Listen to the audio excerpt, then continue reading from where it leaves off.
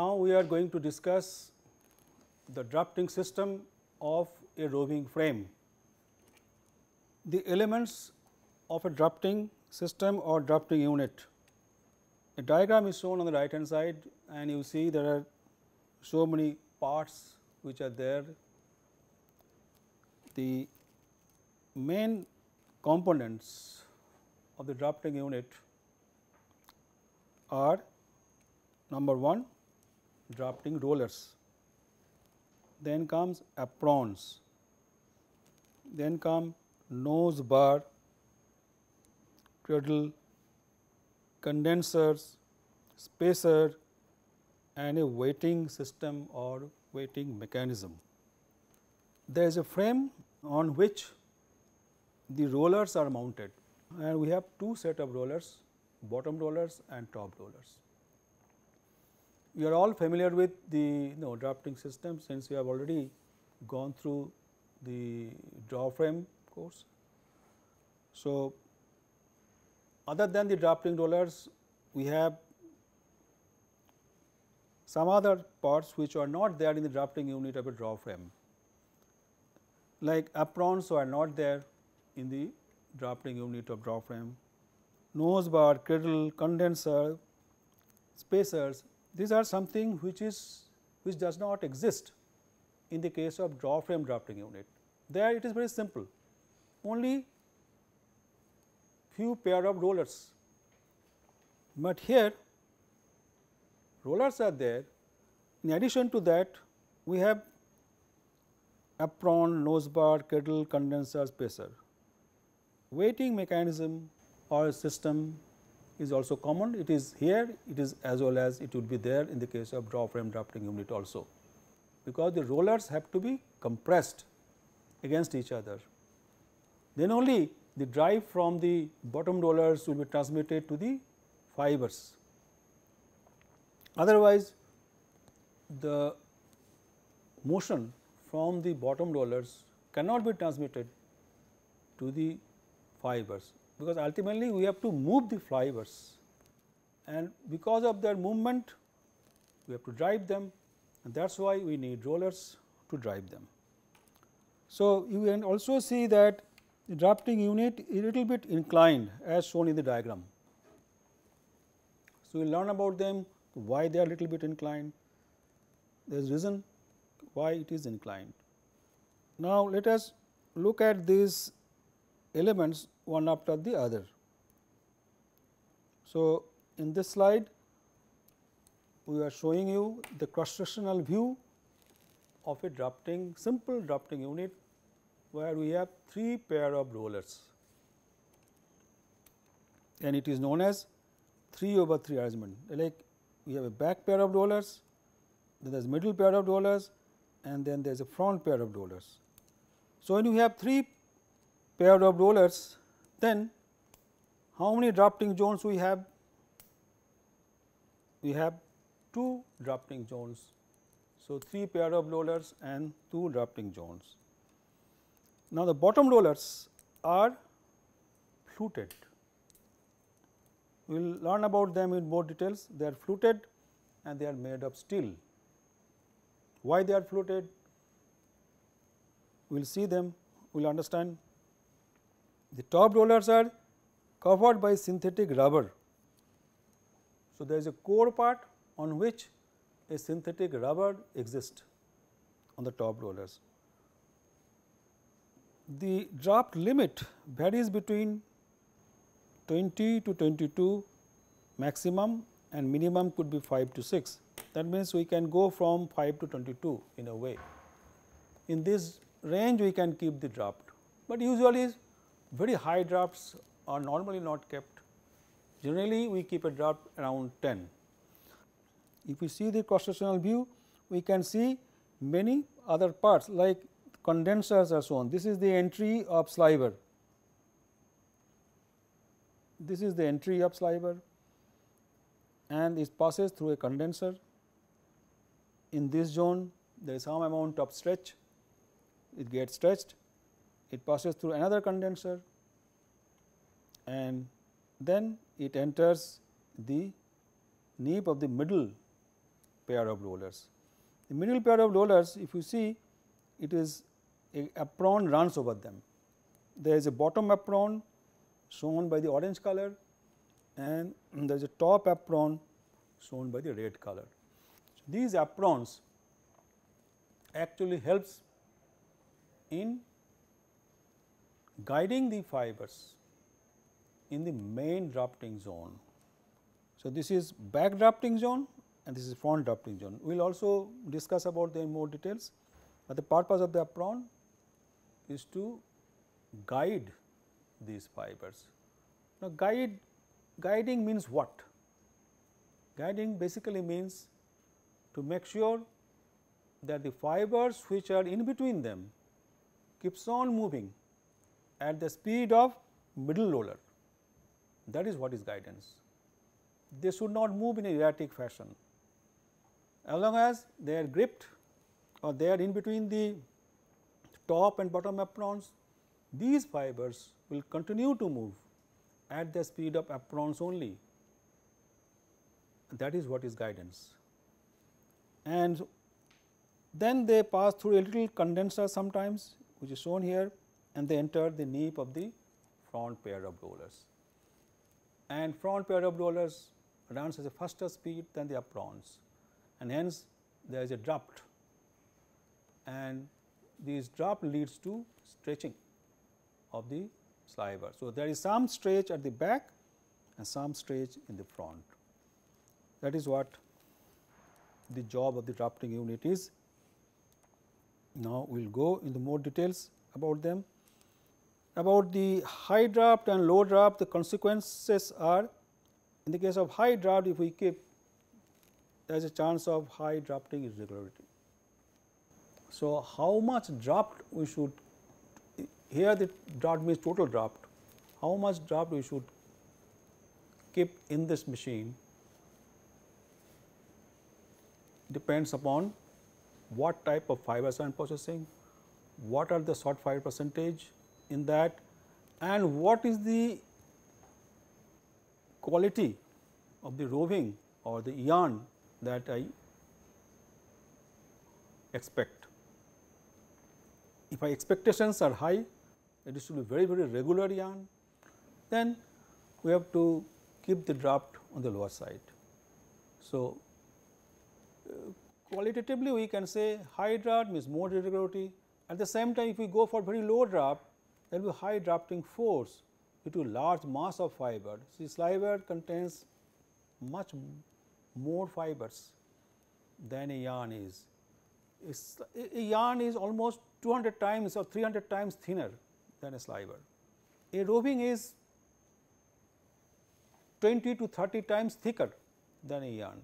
That means, whatever fibers you have in the yarn cross section, you have 20 times or 30 times more fibers in the roving cross sections.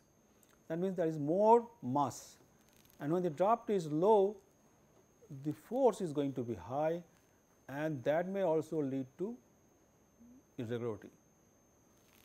While discussing the irregularity generating mechanism, we will explain it again that how irregularity is generated, what is the role of draft on irregularity generations.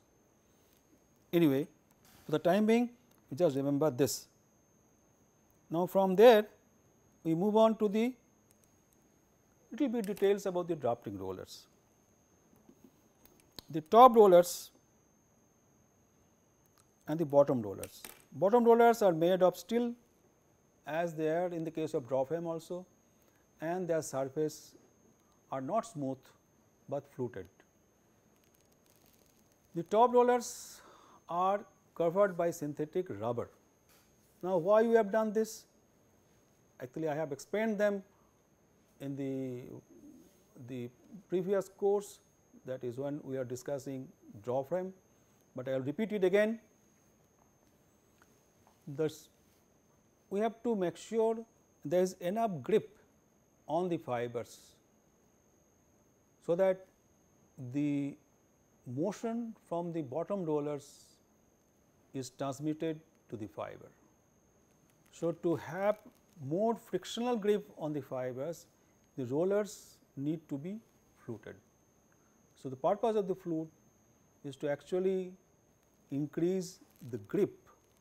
The grip basically means the friction between the fiber and the roller surface.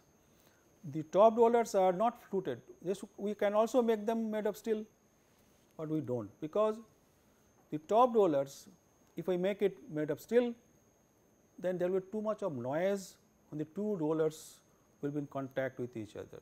Both steel rollers if they run together a lot of noise will be created. And the second thing is that this the top rollers if it are made of synthetic rubber, synthetic rubber get compressed a bit when force acts on it and therefore, there will be a larger surface area of contact between the fiber and the roller because the top rollers will deform a bit at the contact area and hence the motion transfer from bottom to the fiber will be better if they are made from the top roller surface is deformable to some extent. To some extent deformable, too much deformation is not also good, but some deformation of the rollers can help us or facilitate the transport of motion and therefore, we make them no little bit made of soft surface we can say. At the same time it can avoid a lot of noise. The roller diameters are as shown bottom rollers typically 28, 25 and 28 millimeters. Top rollers is 30 or 32 first one, second one middle rollers is 25, 27 and the back one is 32, 32, 30 or 32 millimeter. The hardness of the cot synthetic rubber is to the extent of 80 to 85 degree shore. Roller circumference must be greater than the fiber length to avoid roller lapping. So, that way we have to select the diameter. We will see sometimes when we discuss roller lapping in more details that what is the role of roller diameter on roller lapping. If I want to say in a single line larger diameter rollers means less lapping possibility. The other thing is top rollers can be ground up to 3 mm. See what happens? The top rollers which are covered by synthetic rubber as it runs hours after hours, day after day, there will be some changes in the hardness of the rubber. And because of continuous friction and heat that is generated at the friction points and there will be some change in the chemical composition of the rubber especially on the surface part. So, after some time what we do? We have to grind the top rollers. By grinding we remove little bit of the material from the surface of the rollers and below the surface the still the rubber part which is left is good enough to work for some more days.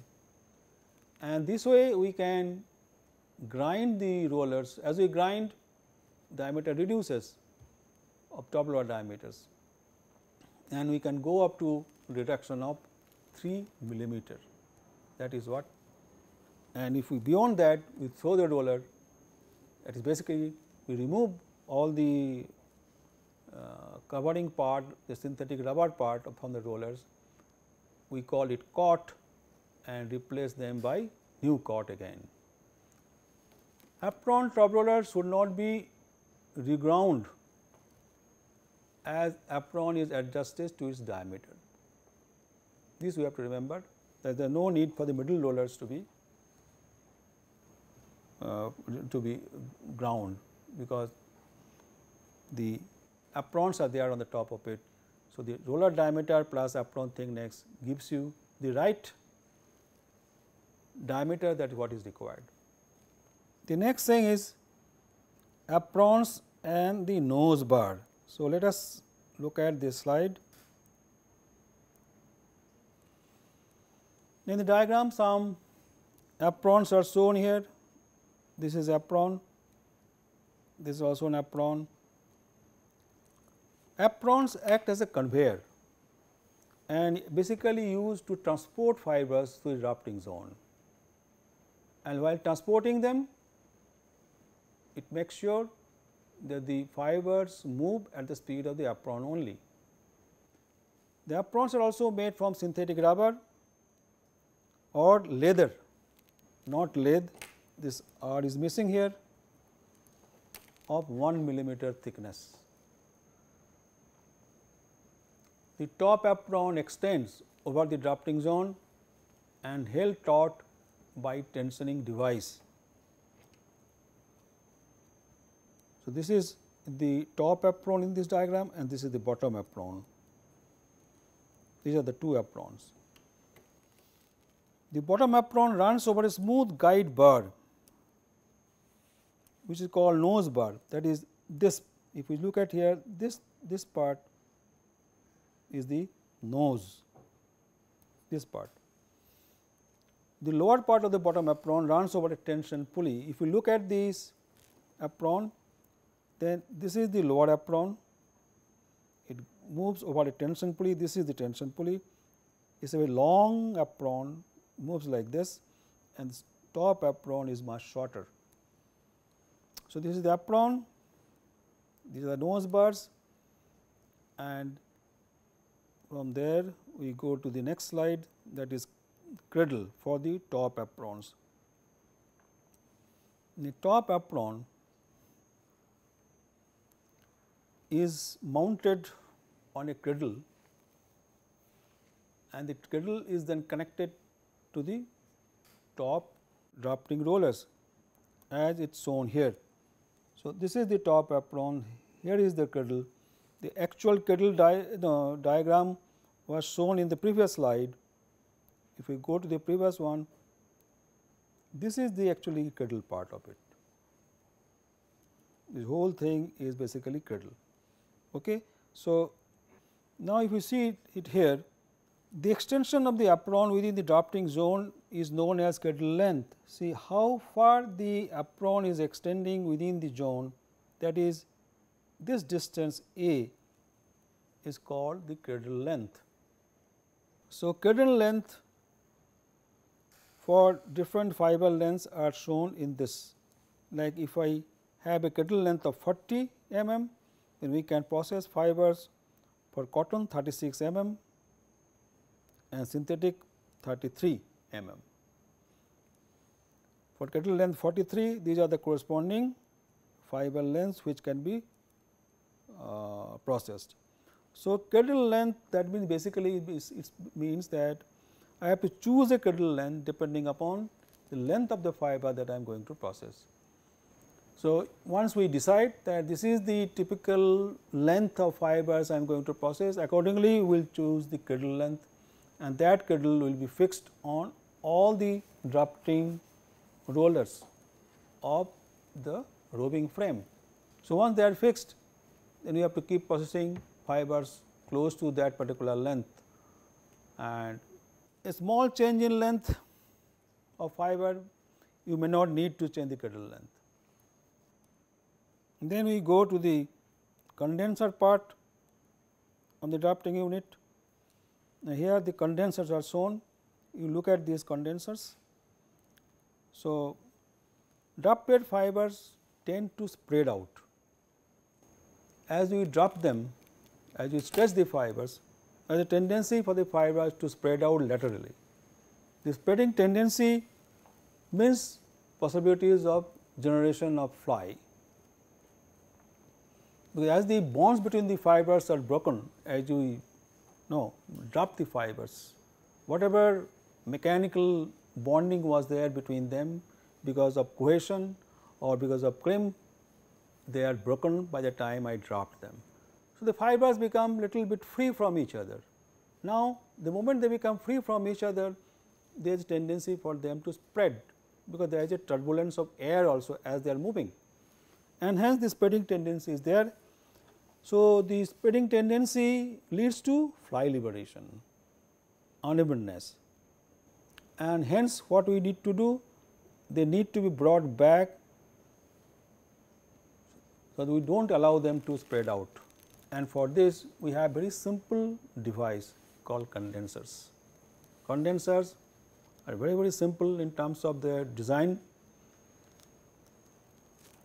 They are basically a kind of funnel you can say, they are basically type of funnel. So, that there is an entry and there is exit.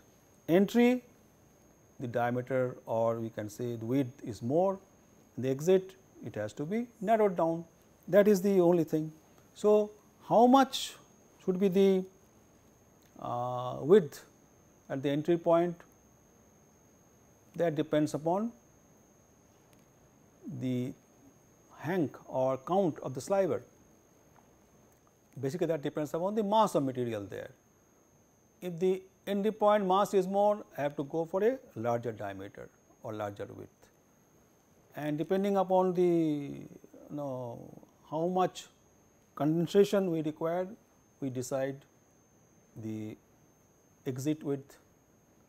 Only thing that you have to remember while fixing the entry uh, your width and the exit width that it should not interrupt the flow of fibers we should not narrow it down to so much that there is a possibility of choking or there is an interruption to the flow of fibers. This we have to avoid at any cost and therefore, the material selection also becomes important.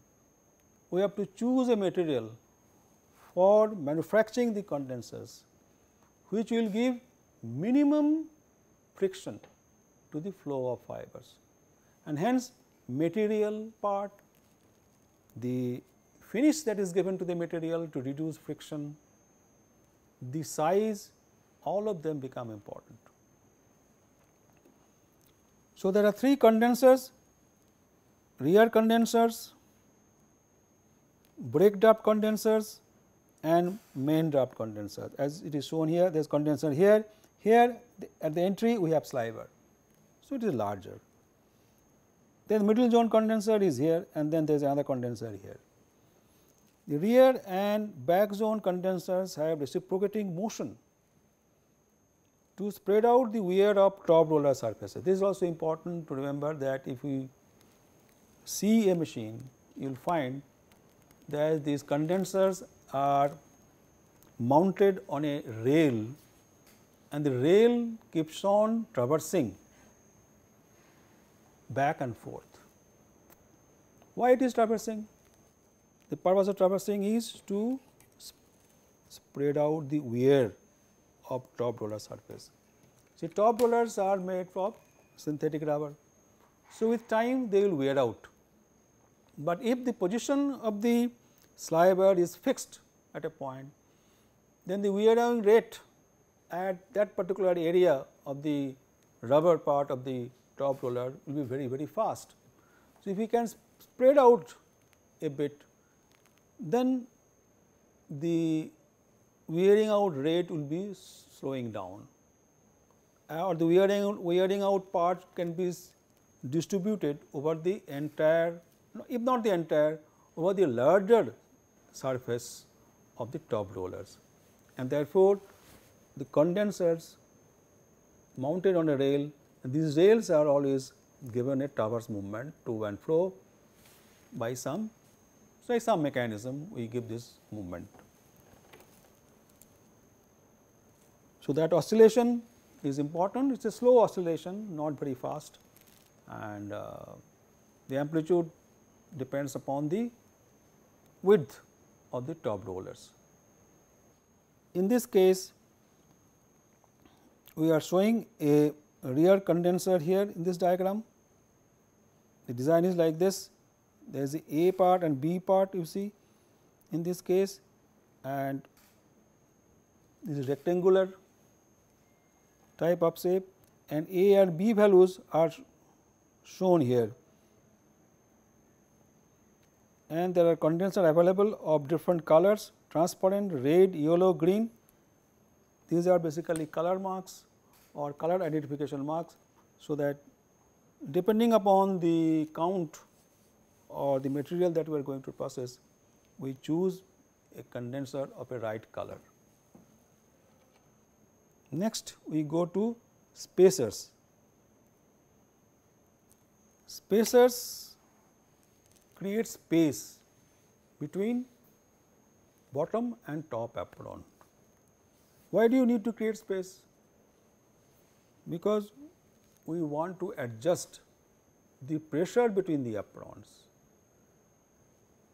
In order to adjust or have some kind of control over the pressure that the two aprons are exerting on each other or basically means on the fibers that we need to adjust and for this this spacer is required.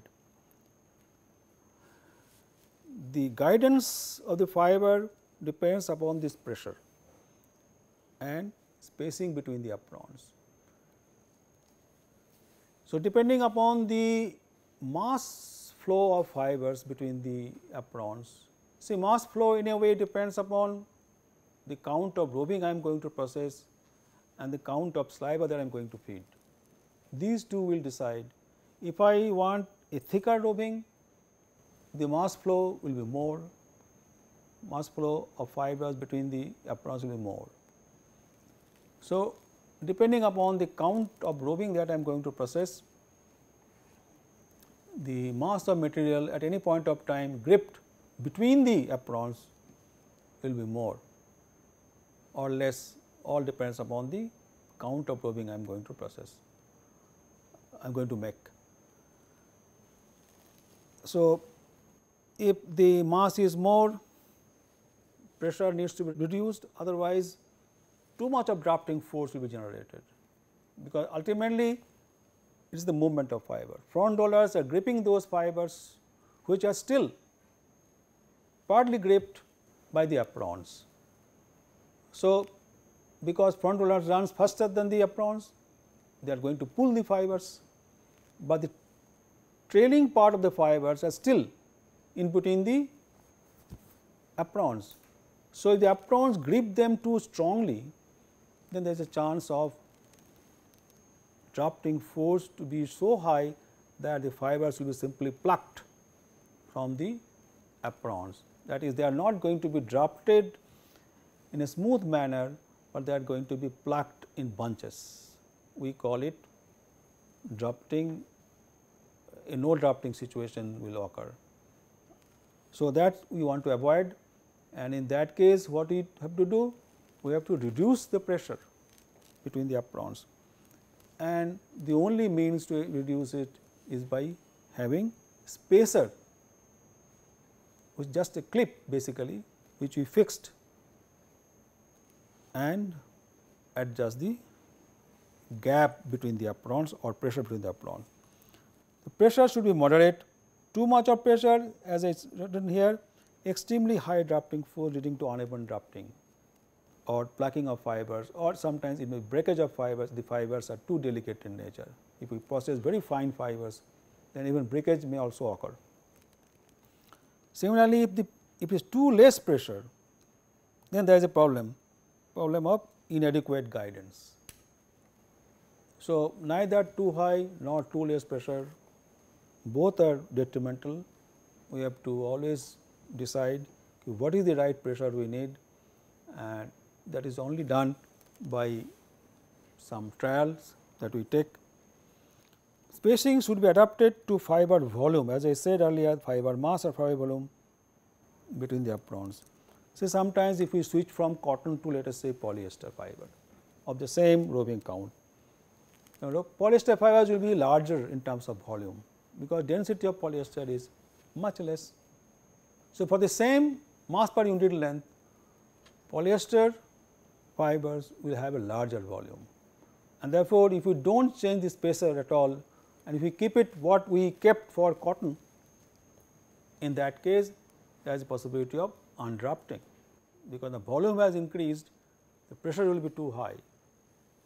So, as we go from cotton to polyester, so let us say acrylic, then also we have to adjust the pressure between the apron with the help of spacers.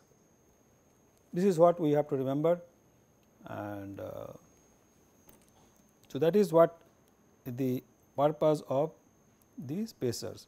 Now come the weighing system or how do we apply pressure on the rollers. So, there will be pressure between the bottom roll and the top rolls. The top rollers and the aprons gets their drive from the bottom rollers, the middle bottom rollers drives the bottom apron first and top rollers. The bottom apron say the motion goes to the top roller as well as the apron of the top rollers. All because of the frictional contact between them. So, the motion is transferred mechanically from roller to the fibers or from bottom roller to top roller all by friction only. There is no gear in between top and bottom rollers. There is no gear type of transmission between apron to bottom apron to top apron. See the motion transfer from bottom roll set of rollers to top is all by friction. Rollers are pressed against each other with what type of force? The force is 100 to 250 Newton. That kind of force we have to apply. At the same time, aprons are also pressed against each other. So, we must have a mechanism to apply pressure. So, top roller weighing or weighting mechanism, how do we apply pressure? Now, there are basically there are two ways which are followed in by the machine manufacturers. One with the help of spring, the other is by pneumatic means. So, spring loaded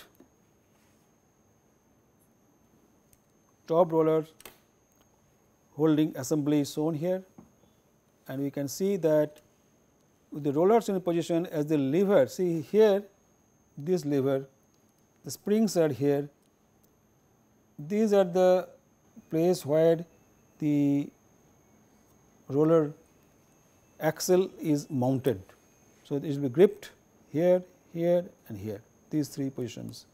This is all meant for holding the top rollers. So, these are the brackets in the brackets the top roller axle is actually gripped and as we swing this lever the spring gets compressed these springs will get compressed and thus the pressure will be built up on the bottom rollers. So, the pressure is coming basically by compressing these, these springs. So, the, what matters here is the spring constant and the compression of the spring. So, these are the two things which matters. So, depending upon we see there are some adjusting points through which we will be able to change the, the spring once the springs are there spring constant cannot be changed. See the amount of compression to extent some extent can be regulated through which the pressure can be adjusted. So, what matters here is the basically the spring and these constant spring constants. The other one is pneumatic pressures. Top roller brackets holders are mounted on top arm which in turn is connected to the pressure hose which is actually here running along the length of the machine. These holes are provided, three holes are provided. When a pin is inserted in any of the hole, it acts as a fulcrum so, here actually holes are there which is not very clear in the diagram, but we have a mechanism through which you will be able to adjust the pneumatic loading on the rollers. There is a source of compressed air and that compressed air source is connected to a hose which is running, it is actually here not visible, which is running along the length of the machine and this hose is connected to the brackets and by that the pressure pneumatic pressure is applied on the top rollers. If I look at this diagram see both the type of weighing mechanism is active or is practiced. The advantages or disadvantages are there. In the case of pneumatic loading, the control is easy. There is a central control from which we can control the pressure and we can the pressure remains fairly constant. Whereas, in the case of spring pressures, there is a chance that with time the spring constant changes. So, maybe after 1 year, 2 years the spring constant will change and therefore, the pressure may vary. And the other thing is that we have to adjust the, the pressure in each and every drafting no, unit when you use the spring as a source of pressure. Whereas, in the case of pneumatic system is centralized compressor from which the compressed air is there and through that we can centrally control easily the pressure on the, the spindles very easily, very fast and with very with ease. Now, top roller brackets or holders are mounted on a slider attached to top weighting arm. So, they are actually they can be mounted on a slider and a slider can be moved backward and forward. Why do you need a slider? Because I have to sometimes need to adjust the setting between the rollers. That means, if the rollers are gripped by a bracket, the brackets should be able to move backward and forward. So, as to adjust the setting between the rollers. Therefore, they are basically uh, mounted on a slider and this is connected to a pressure hose running along the length of the machine as I have already told. Pressure is transmitted from the pressure hose through a cam to the rollers. This is not very clear in this diagram. When a pin is inserted in any hole provided on the pressure hose side unit, it acts as a fulcrum and regulates the pressure. In back or front pair of rollers, another pin position on the bearing slider regulate pressure either on the front or the middle roller. So, there is a pin is here through the pin the there are three holes and depending upon which hole the pin is there we will be able to adjust the pressure. But more details of this will be available from the from manufacturer uh, manuals or if you visit a textile mill you can actually go and see how the pressure is changed.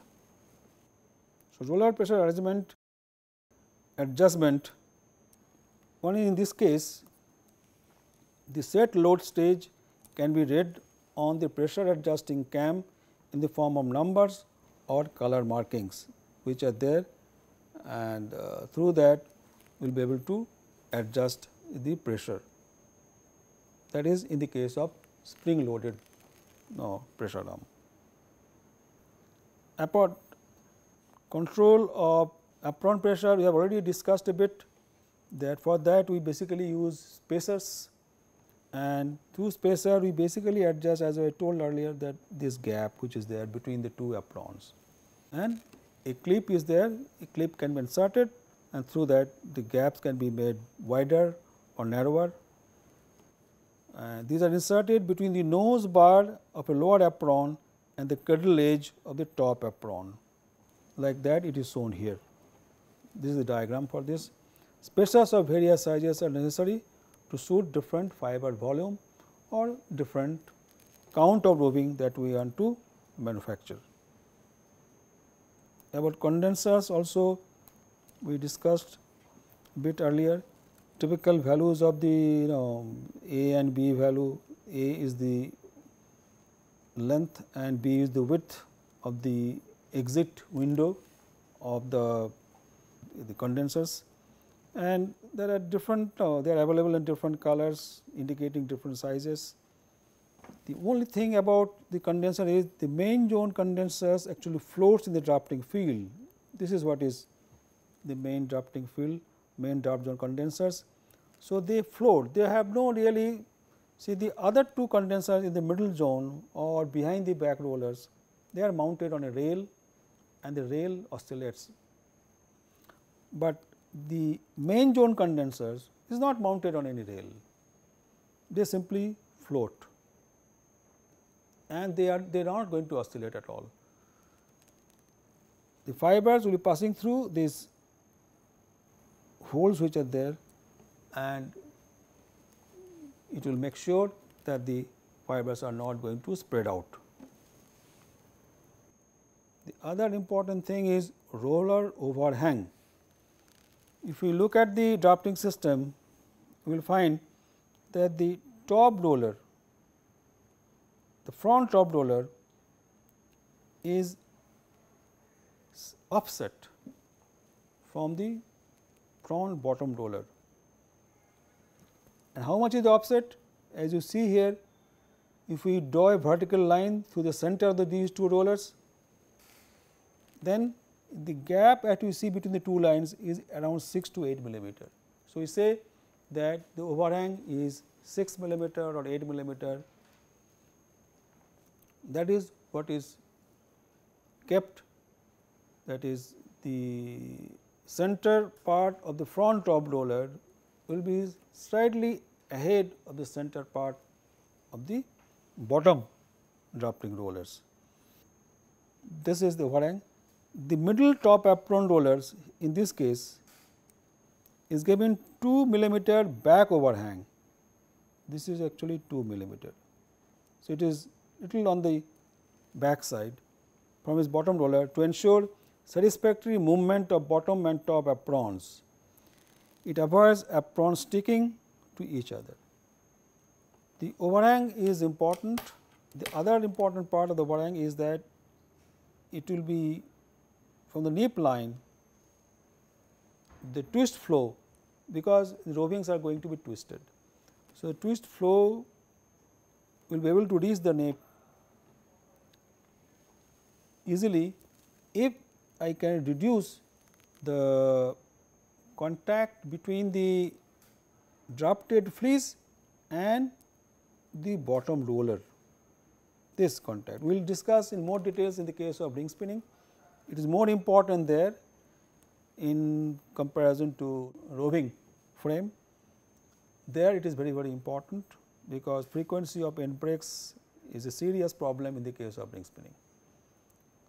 But the basic principle is same idea of the overhang or if we try to incline the drafting system the purpose is that the the drafted fleece that moves out of the nip of the front drafting rollers makes as less contact with the bottom roller surface as possible. That is the basic purpose. So, that the roving or the yarn does not break there, because this is the part if the fibers are in contact with the roller surface under some pressure the twist cannot flow there, because they will offer resistance to the flow of twist and due to that that part will remain weak and hence susceptible to break or rupture and hence we need this. The other thing is the from bottom to top rollers the motion transfer also better if it is little inclined.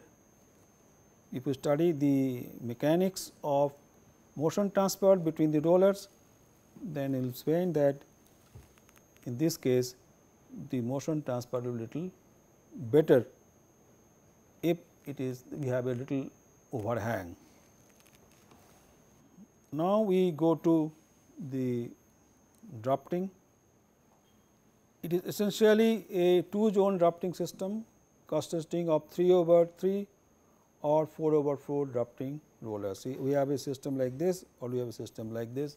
There may be 4 pair of rollers or there may be 3 pair of rollers.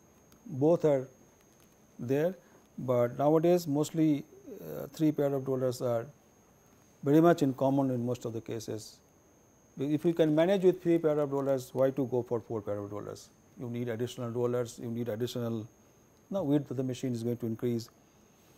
The mass of the fiber to be drafted being large, interfiber friction produces large drag between fibers during drafting. This is what you have to remember in the case of drafting of on a roving frame, the mass of fibers or the volume fibers which are going to handle is quite large, but definitely not as large as it is in the case of draw frame.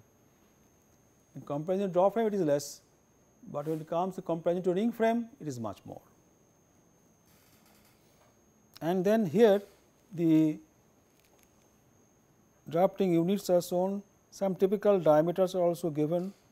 The diameters may vary uh, from manufacturer to manufacturer.